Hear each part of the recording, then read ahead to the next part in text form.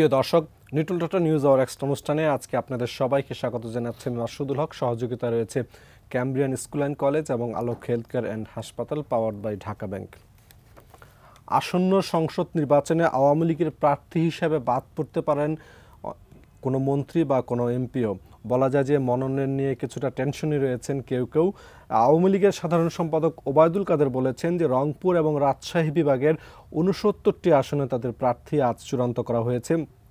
অন্যদিকে সরকার পতনের এক দফা আন্দোলন করতে গিয়ে কঠিন পরীক্ষার মুখোমুখি হয়েছে, রয়েছে বিএনপি এবং গতকাল আপনারা জানেন যে গতকাল বিএনপির যেটা এতদিন ছিল কল্যাণ পার্টি, সেই কল্যাণ পার্টি নির্বাচনে যাওয়ার ঘোষণা দিয়েছে। আমরা রাজনৈতিক পরিস্থিতি নিয়ে আলো- আলোচনা করব করার জন্য স্টুডিওতে উপস্থিত রয়েছেন আওয়ামী লীগের সংসদ সদস্য শামীম উসমান এবং রয়েছেন বিএনপির সাবেক সংসদ সদস্য নীলুফার চৌধুরী মণি। ভাই এবং আপা দুজনকে স্বাগত জানাচ্ছি আজকের আলোচনায়। শামীম ভাই আপনাকে দিয়ে শুরু করতে চাই যে আওয়ামী লীগের মনোনয়ন নিয়ে অনেকেই টেনশন রয়েছেন আমরা জানি যে আপনার আপনার কেমন টেনশন হচ্ছে? না আমার মোটেও টেনশন হচ্ছে না এই কারণে যে আমি প্রকাশ্যে বলেছি আমার দলকে যে আমাকে মনোনয়ন দিয়েন না। এই কারণে বলেছি আবার মনোনয়ন পেপার সাবমিটও করেছি দলের নির্দেশে। আমি মনে করি যে আমি ব্যক্তিগতভাবে কোনো ফ্যাক্টর না। আমরা যারা পঁচাত্তরের পরে রাজনীতি করতে এসেছি, আমাদের কিন্তু রাজনীতি করতে আসার কথা না। আমরা করতে এসেছি একটাই কারণে যে বঙ্গবন্ধুর যদি মৃত্যু না হতো, তাহলে হয়তো আমাদেরকে রাজনীতি করতে হতো না। বাংলাদেশটা বহু আগেই আমার মনে হয় জাপান কিংবা সিঙ্গাপুর এদেরকে ক্রস করতো। আমরা কিন্তু আমাদের শৈশব, কৈশোর, যৌবন সব কিছু হারিয়েছি। ঠিক আছে? তো সেইখানটাতে আমি একটা জিনিস মনে করি যে বঙ্গবন্ধু যেমন আওয়ামী লীগের সম্পদ ছিলেন না, ঠিক একইভাবে আমি বিশ্বাস করি শেখ হাসিনাও এখন আওয়ামী লীগের সম্পদ না। শেখ হাসিনা বাংলাদেশটাকে ওই জায়গায় নিয়ে গেছেন কিন্তু। আজকে পঁয়ত্রিশতম অর্থনীতির দেশ আমরা, ডিজিটাল বাংলাদেশ আমরা। বাংলাদেশকে যেটা কেউ একসময় তুচ্ছ চাচ্ছিল্য করতো, আজকে দেখেন আপনি সারা পৃথিবী বাংলাদেশের মতো দেশে নির্বাচন নিয়ে কত মাথা ঘামাচ্ছে। কেন? হ্যাঁ কত জায়গায় হস্তক্ষেপ করার চেষ্টা করছে। কেন? সো এই জায়গাটাতে নিয়ে এসছেন শেখ হাসিনা। এবং আমি এইটুক করতে চাই, এই জন্যই বলছি যে আমার মনোনয়নটাও সাবজেক্ট ম্যাটার না। শেখ হাসিনাকে আগামী দিনের প্রধানমন্ত্রী দরকার এই কারণে দেশকে বাঁচানোর জন্য, যাতে আমার মতো করে আজকের থেকে তিরিশ বছর কিংবা চল্লিশ বছর পরে যে আমার সন্তান কিংবা আমার নাতি যাতে আফসোস করে না বলে যে আমার রাজনীতি করার কথা ছিল না। সো আমি মনে করি যে আজকে ডিজিটাল বাংলাদেশ থেকে স্মার্ট বাংলাদেশের দিকে যাচ্ছে। আস্তে আস্তে রাস্তার থেকে রাজনীতি উঠে যাবে। হুম, মেধাভিত্তিক রাজনীতি হবে। দেশকে আগাতে গেলে কিন্তু আপনার মেধাভিত্তিক লোক নিয়ে আসতে হবে। তো এই জিনিসগুলিকে মাথায় রেখে আমি মনে করি যে কে নমিনেশন পাবো, কে পাবো না, এটা ফ্যাক্টর না। ফ্যাক্টরটা হচ্ছে আমাদের পূর্বপুরুষরা আমাদের দেশ স্বাধীন করে দিয়ে গেছেন। আমরা পঁচাত্তরের পরে এসে আমরা যে কাজটি করতে পেরেছি, আমরা আমাদের স্যাটিসফাইড বঙ্গবন্ধু হত্যার বিচার করতে পেরেছি। এটা আমরা স্যাটিসফাইড এটা আমাদের মূল চাহিদা ছিল। এক্সেস পেয়েছি যুদ্ধাপরাধীদের বিচার। আর তৃতীয় যেটা পেয়েছি, বাংলাদেশকে আজকে আমরা উন্নয়নশীল দেশে নিয়ে নিয়ে যেতে পেরেছি। সো আমার মনে হয় যে আমাদের একটা নেক্সট এমন একটা জেনারেশন গড়তে হবে যে জেনারেশনে এই মিথ্যা মানে জালিয়াতি কথা, রাজনৈতিক চাটুকরিতা কিংবা এই যে সন্ত্রাস, যে মানুষ পুড়িয়ে মারা, এগুলি এটা এটা কোনো সভ্য দেশের হতে পারে না এটা। হ্যাঁ সৃষ্টি সিরাজি আশরফ আশরাফুল মকলুকাতকে পুড়িয়ে মেরে দিচ্ছি আমি। এটা কোনো রাজনৈতিক ভাষা হতে পারে। এর থেকে যেটা হচ্ছে, যারা মেধাসম্পন্ন মানুষ, তারা রাজনীতি থেকে সরে যাবে কিন্তু ছেলেপিলেগুলি। সো আমি মনে করি যে আমাদেরকে উচিত হবে এমন একটা রাজনীতি উপহার দেওয়া যে রাজনীতি সজীবদের জয়। কেন? একটা ডায়নামিক পার্সন ডিজিটাল বাংলাদেশের প্রবক্তা। আমি দুই এক থেকে দুই হাজার তিন পর্যন্ত আমেরিকায় ছিলাম, দেশ থেকে ছাড়া পড়ে তখনই উনি আমাকে, ও আমাকে বলতো, শাহিম ভাই, আমরা যদি ক্ষমতায় যাই ডিজিটাল বাংলাদেশ হবে ডিজি-" আমি কিছু বুঝতাম না টু বি অনেস্টলি ও আমাকে অনেক বোঝানোর চেষ্টা করতো হোয়াট ইজ ডিজিটাল বাংলাদেশ? এরপরে ধরেন আমাদের শেখ রেহানা আপার ছেলে, আমাদের রেজন যদি ববি। হ্যাঁ রেজন সিদ্দিক ববি। এই দেখেন গত তিন ছয় মাস ধরে দেখবেন শুধু গুজব। কি? সজীব জয়কে আমেরিকাতে অ্যারেস্ট করে রেখেছে এটা হয়েছে তাকে বের হতে পারছে গুজব হয়তো আরও ডালপালা মেলবেও হ্যাঁ আরও ডাল কত কিছু করেছে। মানে ও হি ইজ আন্ডার অ্যারেস্ট তাকে এটা হয়েছে ওইটা হয়েছে কত কিছু। কিন্তু সে কিন্তু প্লেন দিয়ে বাংলাদেশে নেমেছে সে। ঠিক আছে? বাট আমরা জানি ওনারা কি ছিল। এই দুই ভাই কথা বলছিল না বিকজ তারা এই সমস্ত কানে নেয় না। Because they are not Tarek Rahman Hawa Bhaban থেকে সৃষ্টি হয়নি তারা। তার জাতির পিতার দহিত্র শেখ হাসিনার পুত্র শেখ রেহানার পুত্র। ওনারা একটা কাজ করেছেন। বাবা, মা, ভাই সব কিছু হারিয়েও কিন্তু দেখেন, এটা কিন্তু খুব অবাক ব্যাপার। একটা মানসিক চাপ থাকার কথা কিন্তু, সেই অবস্থাতে এনারা একটা জিনিস খুব পরিপূর্ণভাবে করেছেন, নিজের সন্তানদেরকে মানুষের মতো মানুষ করেছেন। জয় দেখেন হার্ভার্ড ইউনিভার্সিটি থেকে করা। আমি অবাক বিস্ময়ের সাথে আমার মনে আছে যে আমার এটা বোধহয় দুই হাজার পাঁচ ছয় হবে রেজওয়ান সিদ্দিকি ববি। তখন সে অনেক ছোট বয়স, আমাদের থেকে তো অনেক ছোট, তখন আরও ছোট বয়স হ্যাঁ পাঁচের থেকে অনেক ছোট। সে আল জাজিরার সবচেয়ে টপ ডেঞ্জারাস এক সাংবাদিকের সাথে একটা ইন্টারভিউ দিয়েছিল। আমি যেটা কলকাতায় বসে দেখেছিলাম।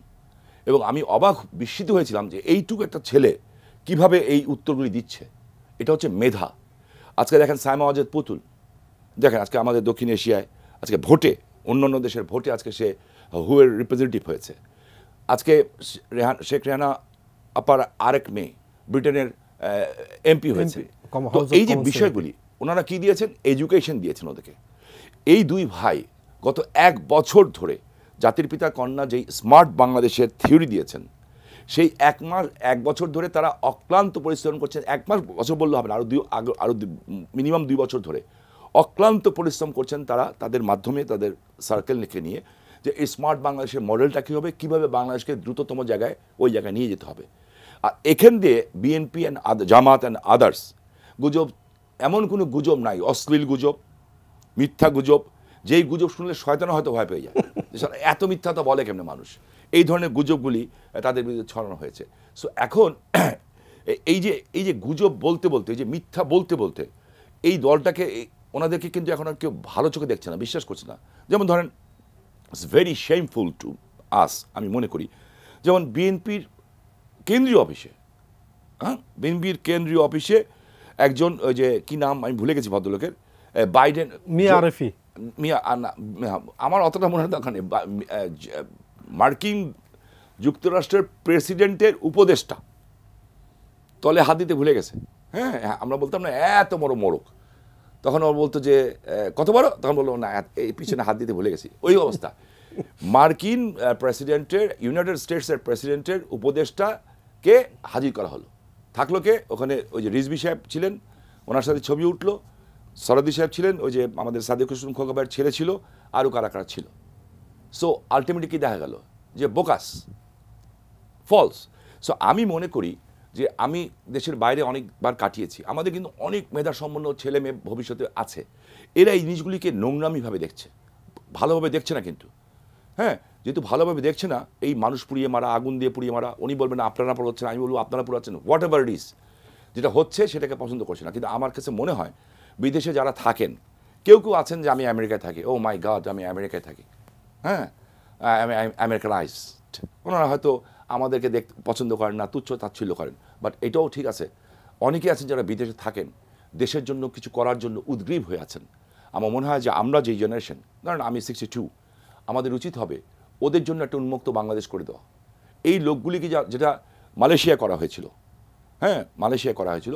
এদেরকে যদি আমরা নিয়ে আসি এই সজীবদের জয় জন সিদ্দিক ববির মতো যারা মেধা সম্পন্ন আছেন হ্যাঁ যারা পরীক্ষার হলে যে মশারি তলে খাতা পাস করে পরীক্ষা দিয়ে পাস করেন নাই হ্যাঁ এরকম মেধা সম্পন্ন লোকগুলিকে যদি আমরা বাইরে থেকে Europe, America, Russia whatever is Bharat, যেখানেই আমাদের বাঙালি ছেলেরা আছে, তাদেরকে যদি যে সুযোগ সুবিধা তারা তারা পাচ্ছেন, সেটা দিয়ে যদি আমরা তাদেরকে নিয়ে আসি এই বাংলাদেশে, যে do something for the country আমার মনে হয় যে বাংলাদেশ পাঁচ বছরে উন্নত বাংলাদেশের আরও আরেকটু আরেক ধাপ উপর চলে যাবে। কিন্তু স্বামী ভাই, আপনি যে খুবই সুন্দর কথা বলেছেন, কিন্তু আমাদের রাষ্ট্রীয় ব্যবস্থা বা আমলাতান্ত্রিক যে কাঠামো, সেই কাঠামো কি এরকম মেধাবীদের বাংলাদেশে ফেরত আনাটাকে উৎসাহিত করবে? অফকোর্স করতে হবে। এটা this is our duty this is politicians duty এটা আমাদের ডিউটি এই ডিউটিটা আমরা পালন করতে পারলে কিন্তু কে বাধা দেবে? বাধা দেবে কে? আপনাকে রাজনীতি একটা জিনিস আমি বলি, কিছু মনে করবেন। আমার যে থিওরি আমার তিন পুরুষ ধরে আমরা রাজনীতি করছি। আমার দাদা এমএলএ ছিলেন, আমার আব্বা ছিলেন, আমার দুই ভাই এমপি ছিলেন, এক ভাই এমপি আছেন এখন। সো আমার বাবা একটা কথা আমাকে শিখিয়েছেন। রাজনীতি করতে গেলে হয় কথা বলবা না যদি সত্য না বলতে পারো। বাট যখন বলবা ট্রুথ বলবা। Because truth is beauty beauty is truth সত্যটা বলবা স্ট্রেট বলবা। আর যদি সাংবাদিক হও মানে আমি মনে করি তাহলে সত্যটা লেখবা কিংবা বলবা। এখন তো টেলিভিশন আছে তখন তো টেলিভিশন এভাবে ছিল না। আর যদি না পারো লেখবা না। সো আপনি আমি জার্নালিস্ট অ্যান্ড পলিটিশিয়ানস যদি একটা জায়গায় আসে হোয়াট দে উইল তারা কী করতে পারবে? কেউ কিছু করতে পারবে না। তাদের সন্তানরা তো বিদেশে লেখাপড়া করছে। কিন্তু সিস্টেমটা সিস্টেম সিস্টেম সব জায়গায় থাকে সিস্টেম ভাঙতে হবে। সেই সিস্টেমটা ভাঙবে কে? কারা? আমরা ভাঙবো আমরা ওদের থেকে দরজাটা খুলে দিব। ওরা শক্ত দিয়ে দরজা যেমন জাতির পিতা শেখ হাসিনা ভেঙেছেন একত্রিশ বছর বয়সে এসে এই দেশের হাল ধরেছেন উনি। যখন উনি হাল ধরেছেন যখন উনি ওনার বাবা মা ভাই সবাইকে হারিয়ে বত্রিশ নম্বরের সামনে চিৎকার দিয়ে কাঁদছিলেন যে এই বাসাতে আমার আব্বা আম্মা ভাই সবাইকে মেরে ফেলা হয়েছে জিয়াউর রহমান তখন ক্ষমতায় যে আমাকে একটু বাসায় ঢুকতে দাও, আমাকে দুই রেখাত নাহমল নামাজ পড়তে দাও। আমরা তো সাথে ছিলাম তখন, তাই না? বাচ্চা ছিলাম, কিন্তু সাথে ছিলাম কিন্তু ফার্স্ট ইয়ারে পড়তাম। কিন্তু তখন তাকে ঢুকতে দেওয়া হয় নাই।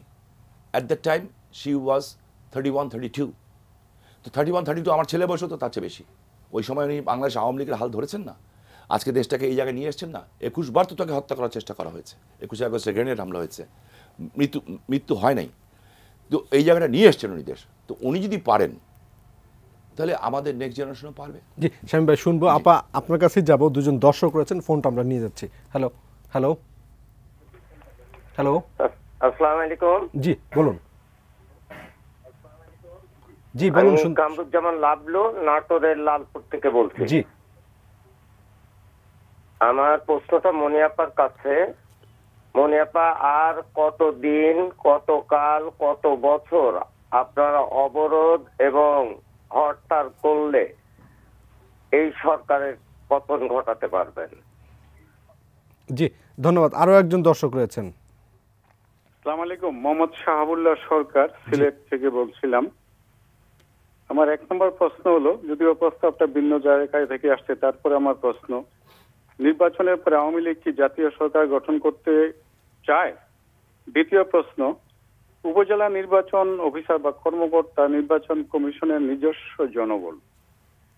সামনে নির্বাচনে তাদের ভূমিকাটা কি হবে? তিন নম্বর প্রশ্ন, বিশ্বের মধ্যে যে সমস্ত দেশ এরকম দ্রুত গতিতে উন্নয়ন করেছে, তারা হয়তো পরিবেশকে কিছুটা ইগনোর করেছে বা গণতন্ত্রকে কিছুটা দুর্বল রেখেছে, কিন্তু তারা কি এরকম বাজার সিন্ডিকেট শিক্ষার মান তলানিতে নিয়ে যাওয়া ব্যাংকে অরাজকতা এসব বিষয়গুলোকে কি তারা এলাও করেছে? ধন্যবাদ। জি ধন্যবাদ। আপা আপনাকে দিয়ে শুরু করতে চাই যে নাটোর থেকে যিনি প্রশ্ন করেছেন যে আর কত হরতাল অবরোধ করলে আপনারা সরকারের পতন ঘটাতে পারবেন? ধন্যবাদ আপনাকে। যারা শুনছেন আমার শুভেচ্ছা অভিনন্দন এবং আমার সহ আলোচক তাকে আমার শুভেচ্ছা। দেখেন অবরোধ ধর্মঘট হচ্ছে গণতান্ত্রিক পন্থার একটা সৌন্দর্য। আপনার আমার অধিকারটা আমি ছিনিয়ে নিব। সেটার জন্য আপনার নির্দলীয় নিরপেক্ষ তত্ত্বাবধায়ক সরকার যখন গঠন হয় প্রথমে, আওয়ামী লীগ একশো তেহাত্তর দিন হরতালই করেছিল। সেখানে বিএনপি মাত্র অবরোধ তাও। অবরোধ মানে আন্তনগর গাড়ি ঘোড়া চলবে না, কিন্তু ঢাকা শহরে বা শহরগুলোতে তার গাড়ি চলতে তো বারণ নাই, দোকান খুলতে বারণ নাই। সেই জায়গায় আপনাদের তো ওই কষ্টটা, ওইটা হওয়ার কথা না। আমাদের নেতা অ্যাক্টিং চেয়ারপারসন উনি কিন্তু বলেছেন যে সাময়িক অসুবিধার জন্য আমরা দুঃখিত। রাষ্ট্র মেরামতের কাজ চলছে। একটা রাষ্ট্র একটা ফ্যাসিস্টের হাতে জিম্মি হয়ে গেছে। সেই জিম্মিটা আমি আমার সহ আলোচকের গল্প শুনলাম এতক্ষণ। এটাকে আমি টক শো না বলে আমি বায়োগ্রাফিক্যাল শো বলতে পারি। উনি বললেন, ভালো লাগল শুনলাম। কিন্তু বাংলাদেশের অবস্থা খুবই খারাপ। করুণ একটা দেশ। সেই দেশে কে কতটা কি হলো বড় কথা না। এখন বাংলাদেশে সেই কবির কবিতার মতো যে ভাত দে, নইলে মানচিত্র খাব। তো এই মানচিত্র খাওয়ার সময় প্রায় চলে এসেছে। ডলার খুঁজে পাওয়া যাচ্ছে না। আজকে যখন এই যে ইসে দেখলাম, এইখানের কি বলে খবরের যে হেডলাইনগুলোতে যে ভালো অবস্থানে যাচ্ছে অর্থনীতি। অথচ দুই, তিন দিন আগে বাংলাদেশ ব্যাংকের গভর্নর বলছে, ছত্রিশ বছরের আমার কর্মজীবনে আমি এরকম ব্যাংকিং অবস্থা, আমি এত খারাপ অবস্থা দেখি নাই। তো এই যে যখন মানুষের নুনান্তে পান্তা ফুরাচ্ছে, মানুষের আয় বাড়ছে না, মানুষের ব্যয় সমানে বাড়ছে, এবং দেশের সবচেয়ে বড় কথা যে আমার ভোট আমি দিব, যাকে খুশি তাকে দিব, এটা বাংলাদেশ থেকে হারিয়ে গেছে, পালিয়ে গেছে। যারা এই যে লাভলেও আপনি প্রশ্ন করেছেন, আপনি ভোট দিতে পারেন কিনা আমি জানি না। ভোটটা দেওয়ার জন্য আপনার কোনো আকুতি আছে কিনা জানি না। তিন দিনের অবরোধে আপনি বললেন কত দিন আমরা দিব? আমরা তো আপনাদের জন্যই খাটছি। আমরা কি শুধুমাত্র আমার ভোটটা কি আমি একাই দিব, না আপনার ভোটটাও আপনি দিবেন? এই আমার ভোট এবং আপনাদের ভোট, যার যার ভোট তাকে দিব এবং যার যার মত মতো দিব, পছন্দ অনুযায়ী দিব, সেটার জন্যই আজকে আমাদের এই লড়াইটা। এই লড়াইটা কিন্তু আমরা এখনও আপনার কি বলে, যে অহিংস নীতির উপর আমরা কাজ করছি। যেখানে বলা হচ্ছিল যে শামীম ভাই বলছিলেন যে এই যে জ্বালাও পোড়াও যে যেটাই বলুক উনি বলেন নাই যে উনারটা আমরাই শুধু করেছি। বলছেন যে অগ্নি সন্ত্রাসকে ভালোভাবে নিচ্ছে না কেউ নিচ্ছে না। অগ্নি সন্ত্রাসকে কেউ কখনোই ভালোভাবে নেয় না। তবে এখানে একটা কথা থাকে আপনার কিছু কিছু প্রমাণ সেই প্রমাণগুলো কিন্তু একটা ব্যাপার। প্রমাণ কিন্তু সবসময় তর্ক করো বলে না যুক্তির সাথে। যুক্তি আর প্রমাণ হচ্ছে উইটনেস উইটনেস কি বলছে সেটাও তো একটা ব্যাপার। যেমন আওয়ামী লীগের উইটনেস আমি আওয়ামী লীগ দিয়েই বলতে চাচ্ছি যে বরিশালের জেলা পরিষদ চেয়ারম্যান বলেছিলেন প্রেস কনফারেন্স করে, জেলা পরিষদ চেয়ারম্যানের স্ট্যাটাসটা বোধ আমার মনে হয় জাতি পুরা জানে যে একটা প্রতিমন্ত্রীর সমপর্যায়ের স্ট্যাটাস উনি প্রেস কনফারেন্স করে বললেন যেখানে আগুন লাগে, সেখানে একটা বিহঙ্গ নামক বাস পুড়ে। এই বাসের মালিক আওয়ামী লীগের একজন নেতা, সে মনোনয়নের জন্য এই বাসটা পুরায় তো এইটা, এই, এইটা গেল। এরপরে আপনার, আমরা তাকিয়ে থাকলাম যে বুধয় সরকার যারা আছে, সরকারের ওই লোকরে পানিশ করবে। ওই লোককে আমরা পানিশমেন্ট পেতে দেখি নাই। পাশাপাশি যার কথা বললে, তাকে আমরা পরবর্তীতে মনোনয়ন পেতে দেখেছি। এবং সে এখনও বহাল তবিয়তে এমপি। এবং যে জেলা পরিষদ চেয়ারম্যান ছিলেন উনিও দলের, তাদের দলে ঠিক মতোই আছেন। এই যে, তার মানে সত্য ঘটনা বলেই কোনো কিছু তারা করে নাই। সত্য ঘটনা বলেই জেলা পরিষদ চেয়ারম্যানের কোনো শাস্তি হয় নাই। এবং ওই সময়গুলোতে অনেক অনেক জায়গায় হাতে নাতে যখন ধরা পড়েছে যে কে কোথায় কীভাবে আগুনটা দিয়েছে, কে কোথায়, গীতারানী সরকার, একজন অগ্নিদগ্ধ নারী তাকে দেখতে গেলেন প্রধানমন্ত্রী তৎকালীন প্রধানমন্ত্রী আজকেও যিনি প্রধানমন্ত্রী উনি স্ট্রেট বললেন যে যান যান জানা আছে আপনারা কে কেমন? এই যে আপা কষ্টের আমরা তো গত কয়েকদিন ধরে দেখছি যে পুলিশ তো অনেককে গ্রেফতার করছে এবং এবং আপনাদের বিভিন্ন অঙ্গ ও সহযোগী সংগঠনের কর্মী এবং বলা হচ্ছে যে আগুন দিয়ে ছবি তুলে পাঠাতে হয় হোয়াটসঅ্যাপে আমি আমি আপনাকে একটা কথা বলি। আমাদের নেতারা অ্যারেস্ট হচ্ছে। যখন অ্যারেস্ট হচ্ছে স্বীকার করছে না সরকার। আমার বুঝতে হবে, আপনারও বুঝতে হবে, আমরা ফ্যাসিস্টের বিরুদ্ধে লড়ছি। ফ্যাসিস্ট যারা, তারা বুক বরাবর গুলি করে, মাথার খুলি উড়ায় দেয়। আমরা তাদের সাথে কাজ করি। তো তাদের সাথে যখন কাজ করি, এবং আমরা বলি যে আমরা অহিংস নীতিতে, আমি জানি না আমাদের নেতারা কেন এই কথাটা বলে, আমি এটার সাথে একমত না। এটা আমার ব্যক্তিগত অভিব্যক্তি।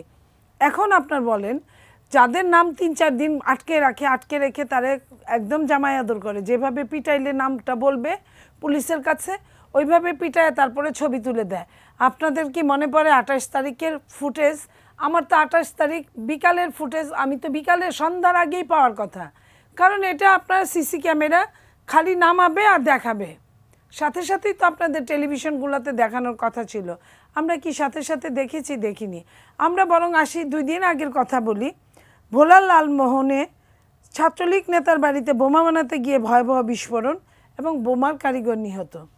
আপনার কি, নোয়াখালীতে আপনার চিনির ট্রাকে ছাত্রলীগের নেতা আগুন দিতে গিয়ে হাতে নাতে ধরা পড়েছে এবং আওয়ামী লীগ তাকে ব্যাকডেট দেখিয়ে তাকে বহিষ্কার করেছে।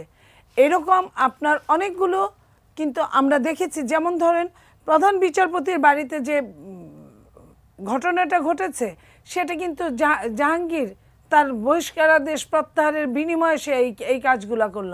জাহাঙ্গীর তিনশো চারশো পাঁচশো ড্যাক ভরে খাওয়ায় তারপরে ওদিক দিয়ে তার না আসলেও চলতো সে ওদিক দিয়ে আসছে তার লোকজন ওইখানে অ্যাটাক করছে। আমি যদি ওই ওই কথাগুলার যদি আরও যদি আরেকটু উপরে যাই আমার এটা জিও পলিটিক্সের পৃথিবী। জিও পলিটিক্সের পৃথিবী এখানে কিন্তু জিওতে সবাইকে আমাদের মূল্যায়ন করতে হয়।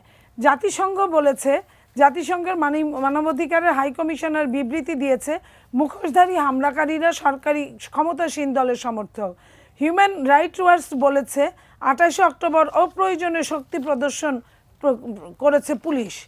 আপনার পিটার হাস বলেছে, আমেরিকার রাষ্ট্রদূত। সে বলেছে, সহিংসত, শান্তিপূর্ণ সমাবেশের অধিকার প্রয়োগে বাধা, ইন্টারনেট সংযোগ বিচ্ছিন্ন রাখা সহ গণতান্ত্রিক নির্বাচন প্রক্রিয়াকে বাধাগ্রস্ত করে এমন যে কোনো উদ্যোগ অবাধ ও সুষ্ঠু নির্বাচন পরিচালনার ক্ষমতাকে প্রশ্নবিদ্ধ করে। আমি যদি আরও বলি টাইম ম্যাগাজিন কি বলেছে? টাইম ম্যাগাজিন বলেছে দুটি মন্দ নির্বাচনে হাসিনা জিতে ক্ষমতায় আছেন যা চরম জালিয়াতি ব্যালট বাক্স ছিনতাই আমি। আপা একটু আমাদের দর্শক রয়েছেন আমরা ফোনটা নিতে চাই। হ্যালো আপা একটু কারিগরি ত্রুটির জন্য আমরা যুক্ত হতে পারছি না। আমরা একটা বিরতি নিয়ে আসছি, আপা। প্রিয় দর্শক, আমরা বিজ্ঞাপন বিরতিতে যাচ্ছি। বিরতির পর ফিরে আসছি আমাদের অনুষ্ঠানে।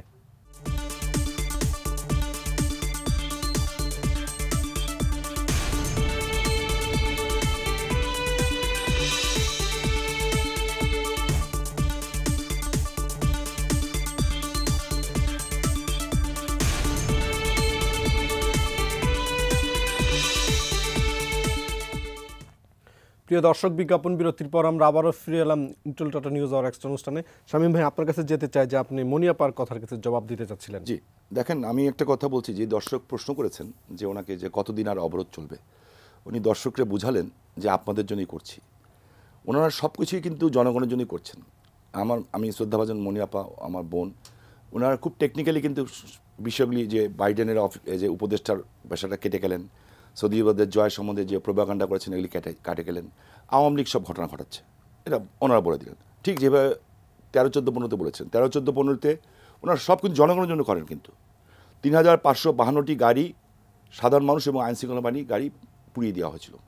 উনত্রিশটি রেলগাড়ি পুড়িয়ে দেওয়া হয়েছিল। নয়টি লঞ্চ পুড়িয়ে দেওয়া হয়েছিল। পাঁচশো বিরাশিটা স্কুল পুড়িয়ে দেওয়া হয়েছিল। ছয়টি ভূমি অফিস পুড়িয়ে দেওয়া হয়েছিল। সত্তরটা বিভিন্ন সরকারি অফিস পুড়িয়ে দেওয়া হয়েছিল। তিন হাজার ছত্রিশ জন সাধারণ মানুষের শরীরে আগুন এবং তার মধ্যে আশরাফুল মখলুকা সৃষ্টির সেরা জীব, পাঁচশো জনের বেশি মানুষ নিহত হয়েছিলেন। ছাব্বিশ জন পুলিশ কনস্টেবল, ছাব্বিশ জন পুলিশ অফিসার এবং আইনশৃঙ্খলা বাহিনীর সদস্যকে কুপিয়ে হত্যা করা ছিল এটাও আওয়ামী লীগই করেছে। ওনার ওনারা কেউ করেনি, ঠিক আছে? এই যে বিষয়টা, এখানে দেখেন, গত চব্বিশ দিনে তিনশো ছিয়াত্তরটা অগ্নিসংযোগের ঘটনা ঘটে। রাস্তার মধ্যে একজন পুলিশ, মারামারি করলে পুলিশ মরে, আগেও মরেছে ট্রু নো ডাউট মরেছে কিন্তু। আমরাও কিন্তু পনেরোই ফেব্রুয়ারি নির্বাচন, যারা এখন গণতন্ত্রের কি সুন্দর করে কথা বলছেন, উনি সুন্দর কথা বলেন হ্যাঁ পনেরোই ফেব্রুয়ারি নির্বাচন ঠেকাতে গিয়ে দুইশো পঁচাশি জন মানুষ আমাদের জীবন দিতে হয়েছে। দুই এক থেকে দুই ছয় পর্যন্ত বিএনপি যে ক্ষমতা ছিল, আমার উনিশ জন মানুষ মারা গেছে। জেলখানা থেকে বের করে নিয়ে গুলি করে মেরেছে। আমার বড় ভাইয়ের ফ্যাক্টরিতে ঢুকে তিনশো গরুর দুধের বান কেটে দেওয়া হয়েছে কুচি কুচি করে। রাজাসের গলা কেটে দেওয়া হয়েছে। ভাইকে অ্যারেস্ট করানো হয়েছে। আমাদের বাইতুল্লাহ মানে আওয়ামী লীগ সৃষ্টি হয়েছিল এই অপরাধে বুলডোজার দিয়ে বাইতুল্লাহ মান ভেঙে দেওয়া হয়েছে। আমার বাবা যেই চেয়ারে বসতেন, সেই চেয়ারে যে পেশাব করা হয়েছে, আমরা কিন্তু আসার পরে কাউকে একটা ফুলের টোকা দিই কেউ কেনা কারণ এটি আমাদের শিক্ষা জাত- জাতির পিতার গন্ধ এটা এটা করে প্রতিশোধ নিয়ে হয় না। উনি দেখেন, এই যে একটা পুলিশ, একটা মুক্তিযোদ্ধার ছেলে, সন্তান হ্যাঁ? উনি বলছেন, সব আওয়ামী লীগ করেছে সেদিন সাজানো, রাষ্ট্র কি জাহাঙ্গীরের নাম বলে দিলেন। আর একটা কথা উনি বারবার ইউজ করছেন fascist I don't know I don't think so যে উনি যেমন বলেছেন যে জেলা পরিষদের চেয়ারম্যান একজন প্রতিমন্ত্রী স্ট্যাটাস নো একটা অ্যাডিশনাল সেক্রেটারি স্ট্যাটাস এটা যেমন সঠিক জানেন না, ঠিক ওইটাও জানেন না যে জাহাঙ্গীর সম্বন্ধে বলে দিলেন, উনি বলছেন একটা ফ্যাসিস্ট সরকার। ফ্যাসিস্ট সরকার ফ্যাসিস্ট শব্দটার ব্যাখ্যা কি? ইফ উই আর ফ্যাসিস্ট উনি এখানে বসতেই পারতেন না, আপনি অনুষ্ঠান পরিচালনাই করতে পারতেন না। আপনি অনুষ্ঠানই পরিচালনা করতে পারতেন না, আর উনিও কথা বলতে পারতেন না। বা তো আপনারা বলেছেন কিন্তু, ওনারা এক দেড় বছর ধরে শান্তিপূর্ণ আন্দোলন করেছেন, একটা কোথাও ঝামেলা হয়নি। আমার প্রশ্ন হচ্ছে, আমি মানুষ হিসাবে প্রশ্ন করতে চাই, আওয়ামী লীগের নেতা হিসেবে না। আপনি আমাকে বলবেন, উনি আমাকে বলবেন। একজন পুলিশের ভাই, এই লোকটা মারা গেছে, মৃত, ডেড ম্যান। তার লাশটা পড়ে আছে। ছাত্র দলের ঢাকা বিশ্ববিদ্যালয়ের সাবেক সাধারণ সম্পাদক, এখন যুব সাধারণ সম্পাদক, কেন্দ্রীয় কমিটির। সে চাপাতি দিয়ে কোপাচ্ছে। উনি বলেন, জাহাঙ্গীরের মিছিল থেকে কাজটা হয়েছে।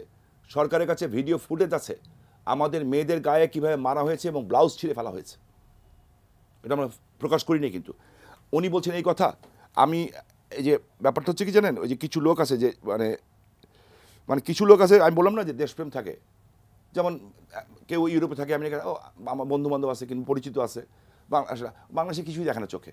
এই উন্নয়ন দেখে না, কিচ্ছু দেখে না হ্যাঁ? আমাদের রূপপুর প্রকল্প দেখে না, পদ্মা সেতু দেখে না, কিছুই দেখে না। আবার কেউ আছে, যান প্রাণ দিয়ে দেখে। কেউ মনে করে আমি ভার্জিনিয়া থাকি, ও বাবা, আমি পৃথিবীর লাভার স্টেটে থাকি। এরকম অনেকে ভাবে আর কি। তো আমি আপনাকে একটা জিনিস দেখাই তাহলে আমি যতটুকু দেখতে পারবেন আমি জানি না।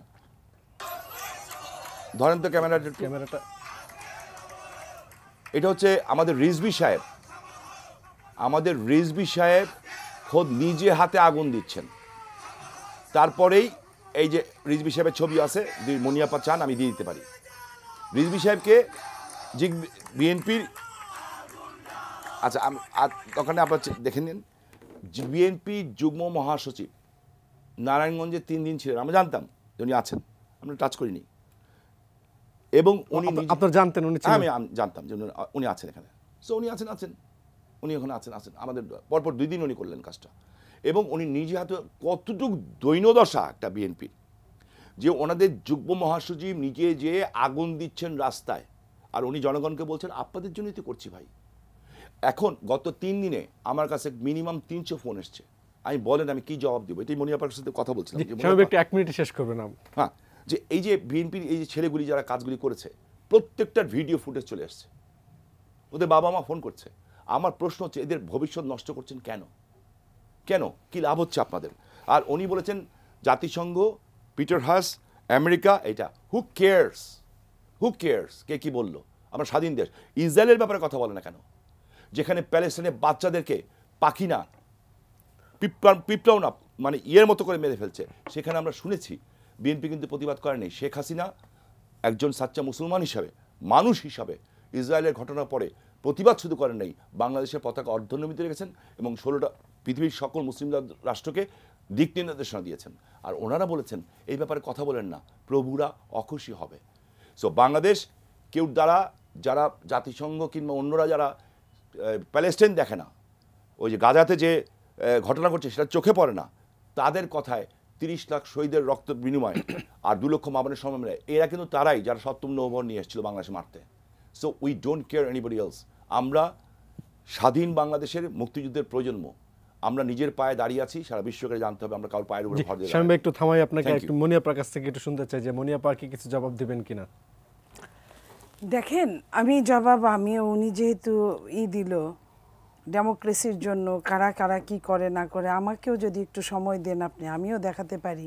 দেখাইতে গেলে তো আর আমরা আমাদের কাছেও তো ভিডিও থাকে। আমার কথা হলো ওনাদের ভিডিও বাই করতে এত দিন লাগল কেন? কেন পরের দিন তারা ভিডিওটা বের করতে পারল না? কারণ তাদের কাছে পরের দিন ভিডিও ছিল না।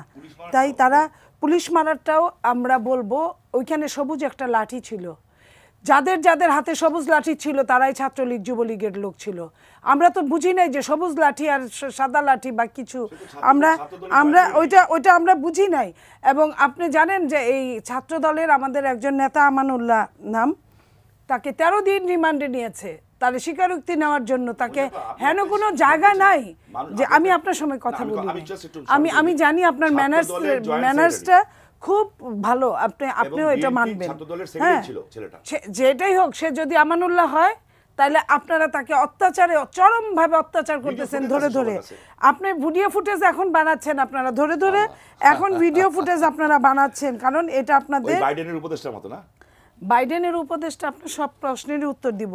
বাইডেনের উপদেশটাকে যারা নিয়ে গেছে কথিত সালা এই এই সরোয়ার্দিটা কে? এই সরোয়ার্দিটা যদি আমি বলি যে এই সোরার সরোয়ার্দিতে আপনাদের সময় জিইসি ছিল। আপনারা প্রমোশন দিতে দিতে সর্বোচ্চ জায়গায় নিয়ে গেছেন নিয়ে ছাড়ে দিছেন। আপনারাই যে এটা করেন নাই তার তার কথাটা কি? এই সরোয়ার্দিকে ভালো মতো ধরলেই সব কিছু বের হয়ে যাবে থলের বিড়াল। যে স- সরোয়ার্দি আওয়ামী লীগ করেছে। আওয়ামী লীগ করার লোক ছাড়া আমাদের একটা লোককে পুলিশের চাকরি দেয় না। পুলিশের একটা চাকরি দেয় না। আর আর্মির এত বড় জিও সিবানা আর্মির এত এত বড় বড় পদ দেয় এত বড় প্রধানমন্ত্রীর সঙ্গে রাখে এটা কেন রাখে আপনি বুঝেন সেই লোক যখন আমাদের এখানে আসে, আমাদের বুঝতে হবে যে কীভাবে কি হতে পারে। আমি আপনাকে পুলিশের কথাগুলো যদি শোনাই। আপনি দেখেন, সাউন্ড গ্রেনেডগুলো যখন মারে, পুলিশরা কি কি কথা বলছিল? এই এই কথাগুলো তো বের হয়েছে এটা আপনি দেখেন কথা রেকর্ডিং করা যাবে না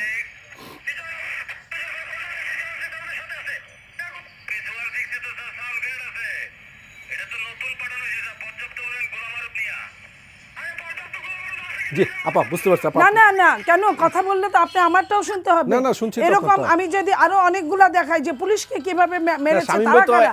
আমাদের কাছে যেগুলো আছে এই যে দেখেন ডিবির সামনে ডিবি অফিসের সামনে যে গাড়িটা ভাঙলো এই পুলিশের ছত্র ছায় এই হেলমেট পরা ছেলেগুলা কারা?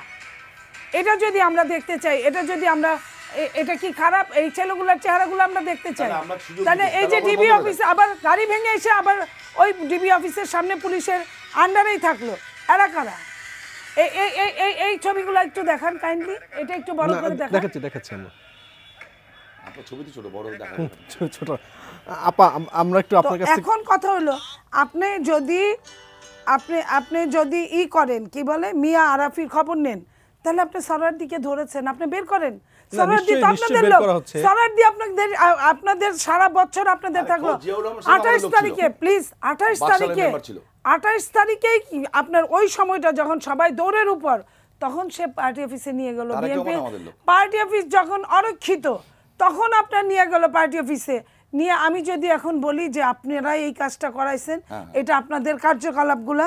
এবং আপনারা অনেকগুলো কথা বললেন যে কি কেটে গেলেন আমি নাকি কেটে গেছি। মিথ্যে গুজব ছড়াই আমরা। মাননীয় প্রধানমন্ত্রী উনি আমেরিকা থাকতে আমেরিকা থেকে এসে বলছে টাকা নিলে নিক। টাকা নিলে নিক। এই টাকাগুলা কার টাকা বুঝাইছে?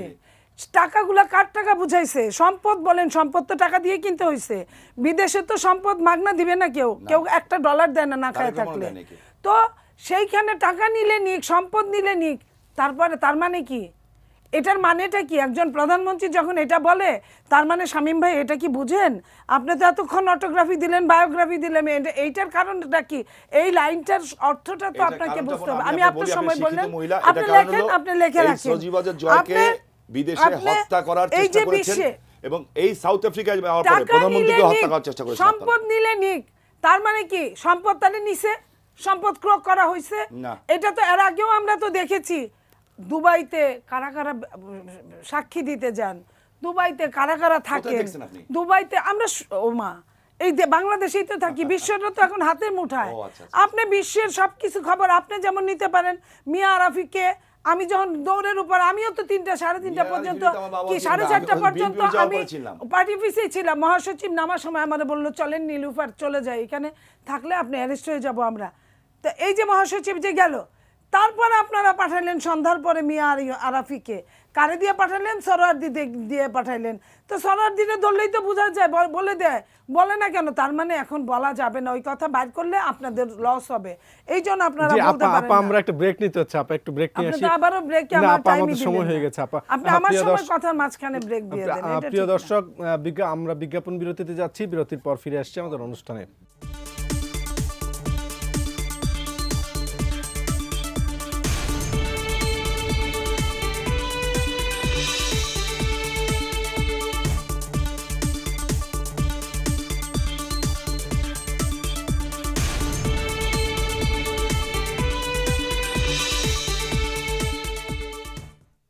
প্রিয় দর্শক, বিজ্ঞাপন বিরতির পর আমরা আবারও ফিরে এলাম লিটল টাটা নিউজ আর এক্সট্রা অনুষ্ঠানে। মনিয়াপা, আপনাকে দিয়ে আবার শুরু করতে চাই যে গতকাল আমরা দেখলাম যে আপনাদের জোটেরই শরিক ছিলেন কল্যাণ পার্টির চেয়ারম্যান, মেজর জেনারেল অবসরপ্রাপ্ত ইব্রাহিম। তিনি যুক্ত ফ্রন্ট নামে নতুন একটি জোট ঘোষণা করে এবং তিনি নির্বাচনে যাওয়ার ঘোষণা দিয়েছেন।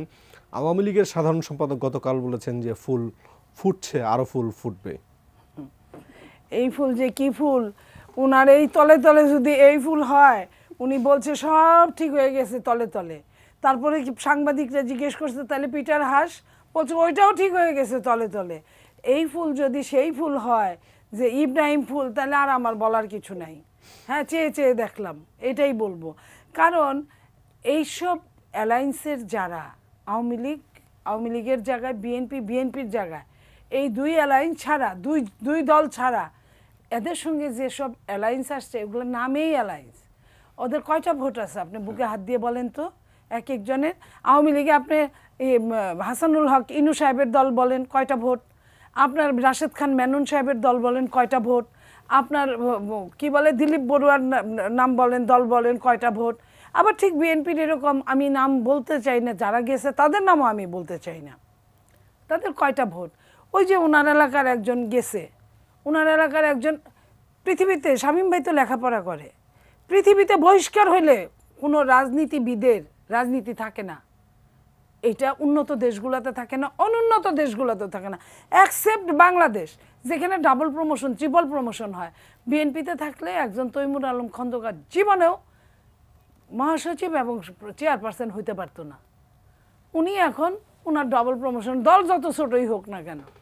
ওই শুনলাম আজকে নাকি মারামারি হয়েছে এই এই শুনলাম। তো এখন মনে করেন তিনজনের মধ্যে পাঁচটা গ্রুপ করে করবে।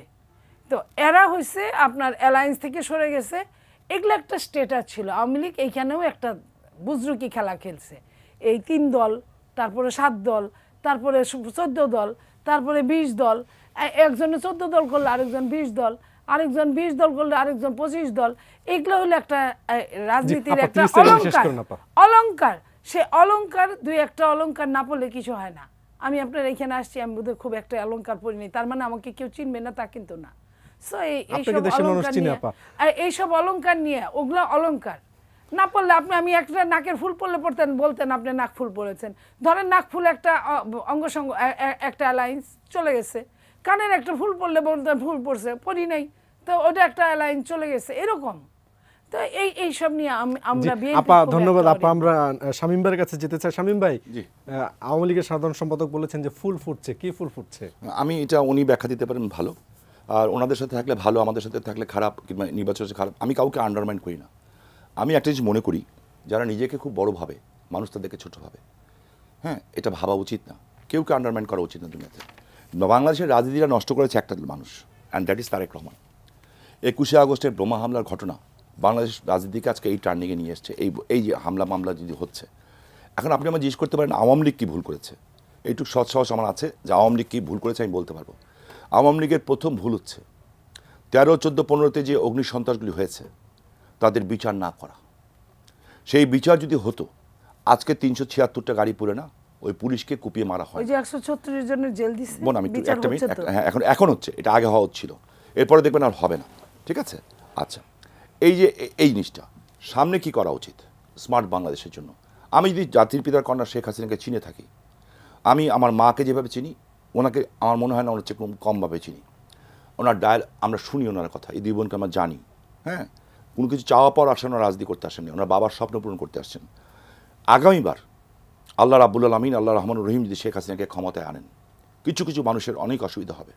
অনেকে বলেছিল বঙ্গবন্ধু হত্যাকারীদের বিচার হতে হলে দেশে কু হয়ে যাবে। হয়নি কিন্তু, বিচার হয়েছে। অনেকেই বলেছিল স্বাধীনতা বিরোধী রাজাকার আলবলদের ফাঁসি হলে দেশ থাকবে না। ফাঁসি হয়েছে কিন্তু। আগামীতে যাদেরকে উনি এই বাংলাদেশ ধরবে, তারা হলো ঠিক এই মুহূর্তে এসে, শেষ মুহূর্তে এসে যারা মজুদদার, মানুষের পেটে লাথি মেরেছে হ্যাঁ মুনাফাখোর, মানি লন্ডারিং, টাকা পাচারকারী, এদের আগামীতে ছাড় নাই। অর্থাৎ দুর্নীতি এবং যারা এই যে মানুষের খাদ্যদণ্ড নিয়ে যে মানুষকে কষ্ট দিয়েছে আমাদের এটা হলো একটাই। আপনার এই কথাটা মানুষ বিশ্বাস মানে কতটুকু করতে দেখবেন দেখবেন একটা কথা আছে বাঘে ধরলে বাঘে ছাড়ে শেখ হাসিনা ধরলে ছাড়ে না। এটা আপনাদের মাথা রাখতে হবে। আমি ওনাকে জানি মানে দেখি। শেখ হাসিনা ধরবেন তাদেরকে? অফকোর্স ধরবেন। ক্লিনজিং অপারেশন হবে বাংলাদেশে। আমি আপনাকে বলে দিচ্ছি। হোয়াট এভার সেটা আমি হই আপনি হন উনি হোক। আমি স্বামী ওসমান যদি হই আমার বুকে পাড়া দিবেন উনি। আমি যদি ওনার যত কাছে সেটা এত বছর হয়নি কেন? গত প্রায় পনেরো হয়েছে কিন্তু ওইভাবে যেমন এই যে চোদ্দ পনেরোর আগুন সন্ত্রাসী বিচার করেনি দেখি তো আজকে এটা হয়েছে। তাই না? চোদ্দ পনেরোর বিচার করলে আজকে কোনো বাপের বেটার সাহস ছিল না এইভাবে পুলিশকে কুপিয়ে কুপি মারে। ও এখন উনি বলছেন এটা নাকি ভিডিও। এখন মনিয়াপার তো ব্যাখ্যা মনিয়াপা দিবেন। আরেকটা জিনিস আমার কাছে খুব খারাপ লেগেছে। এক তিরিশ সেকেন্ডে বলছে আমার কাছে খারাপ লেগেছে। চরমোনাহের মুফতি ফয়জুল করিম উনি বরিশাল ইলেকশন করতে গেছেন। যেটা খারাপ আমি খারাপ বলব। উনি ফজল করিম সাহেবের ছেলে, অত্যন্ত সৈয়দ ফজল করিম সাহেব, পীর সাহেবের ছেলে। আমি তাকে অত্যন্ত সম্মান করতাম। এই যে নির্বাচনের সময় ওনার গায়ে হাত দেওয়া হয়েছে, এর আগে কিছু ঘটনা ঘটেছে, সেটা আমি দেখিনি। ওইটার ফুটেজ আমি দেখেছি। সাথে সাথে যারা গায়ে হাত দিয়েছে, তাদেরকে অ্যারেস্ট করা উচিত ছিল। এই কালচারটা আসতে হবে। তাই আমি আমার নতুন জেনারেশনকে বলতে চাই, আমি এবং আপা, যে কথা বলে দিচ্ছি, এটাতে প্রভাবিত হেন না।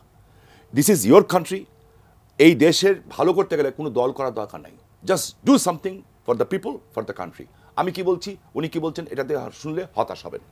সো দেশটাকে সামনে আগাতে হবে এই দেশটা আপনাদের আপনাদের জন্যই এই দেশটাকে সামনের দিকে এগিয়ে নিতে হবে এবং শেখ হাসিনা আপনাদের সম্পদ। জি থ্যাংক ইউ শামীম ভাই থ্যাংক ইউ মনিয়াপা প্রিয় দর্শক আমাদের আজকের অনুষ্ঠানটি আমরা এখানে শেষ করছি। আপনারা ভালো থাকুন সুস্থ থাকুন। এটিএন নিউজের সঙ্গেই থাকুন।